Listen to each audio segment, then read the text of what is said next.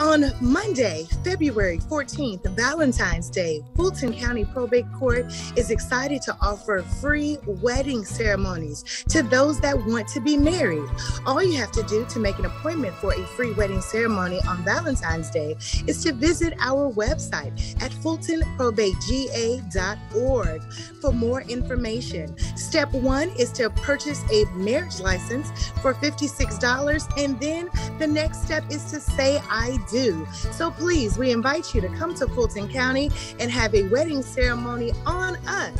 Congratulations to those lovebirds, and we look forward to serving you.